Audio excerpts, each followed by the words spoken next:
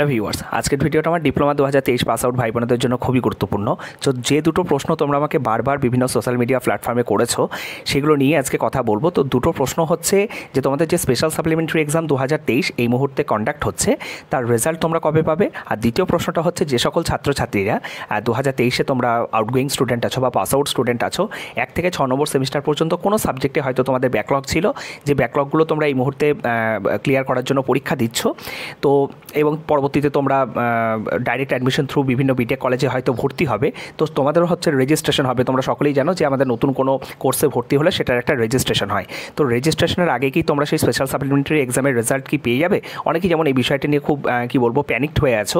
অনেকেই হয়তো বিটেকে অ্যাডমিশন নেবে কি নেবে না, এই জিনিসটা ভাবছ যে আমাদের বিটেকে অ্যাডমিশন হয়ে গেলাম বাট কোথাও না কোথাও যদি রেজিস্ট্রেশনের আগে যদি স্পেশাল সাপ্লিমেন্টারি এক্সাম যদি যে হচ্ছে, তার রেজাল্ট যদি হাতে না পাই, তাহলে তো আমরা রেজিস্ট্রেশনটাই করতে পারব না। সেক্ষেত্রে তো আমাদের অ্যাডমিশনটা ক্যান্সেল হয়ে যাবে, ঠিক আছে? তো প্রত্যেকটা বিষয় নিয়ে কথা বলব।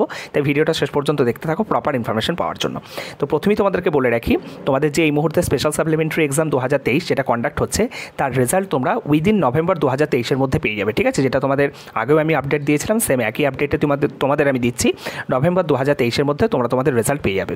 আর নভেম্বর দু হাজার তেইশের মধ্যে তোমাদের যদি রেজাল্ট বের হয়ে যায়, সেক্ষেত্রে কেউ চিন্তা করো না, তোমাদের যারা বিটেকে ডাইরেক্ট অ্যাডমিশন থ্রু ভর্তি হবে মানে স্পেশাল সাপ্লিমেন্টারি এক্সাম থ্রু তোমাদের যে ব্যাকলগগুলো আছে যারা ক্লিয়ার করে তোমরা ভর্তি হতে চাইছো, ঠিক আছে? বা যারা কোথাও না কোথাও ওই তোমাদের হয়তো এক থেকে ছ নম্বর সেমিস্টার পর্যন্ত কোনো সাবজেক্টে ব্যাকলগ থাকার জন্য তোমরা জিলেটে পার্টিসিপেট করতে পারোনি। ডাইরেক্ট অ্যাডমিশন থ্রু ভর্তি হয়ে গেছো বা হবে বলে ভাবছ, তো তাদেরও রেজিস্ট্রেশন করতে কোনো সমস্যা হবে না, যদি তোমাদের নভেম্বর দু হাজার তেইশের মধ্যে রেজাল্ট পাবলিশ হয়ে যায়, ঠিক আছে?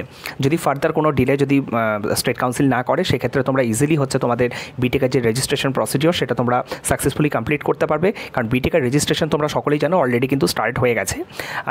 সিক্সথ অক্টোবর মোস্ট প্রবাবলি বোধ হয় ঠিক আছে? থার্ড অক্টোবর বা সিক্সথ অক্টোবর আমার এক্স্যাক্টলি ডেটটা মনে নেই। যেটা চলবে তোমাদের ফিফটিন্থ অক্টোবর পর্যন্ত, সেটা কিন্তু ফার্স্ট ফেজের ঠিক আছে? তো অনেকেই এই জিনিসটা নিয়ে হয়তো খুব চিন্তার মধ্যে আছো দাদা আমাদের ফিফটিন্থ অক্টোবরের মধ্যে তো রেজিস্ট্রেশন প্রসেসটা তো কমপ্লিট হয়ে যাবে, ওটা ফার্স্ট ফেজের এরপরে তোমাদের সেকেন্ড ফেজের হচ্ছে আবার রেজিস্ট্রেশন প্রসেসের জন্য হচ্ছে নোটিশ দেওয়া হবে। তোমরা কেউ চিন্তা করো না, এবং পরবর্তীতে ডেটও এক্সটেন্ড করা হয়, ঠিক আছে? সো একেবারে এই সম্পর্কিত জিনিসগুলো নিয়ে তোমরা কেউ ভাবনা চিন্তা করো না এই মুহূর্তে।